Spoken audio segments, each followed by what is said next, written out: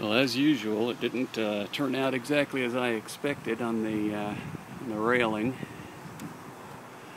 Got some major gaps here. So as usual, with my great planning, I'm going to have to cut some extra pieces to sort of fill in.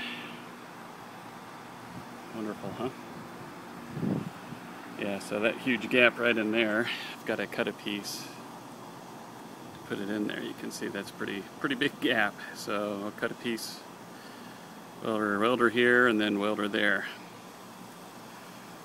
It's too bad.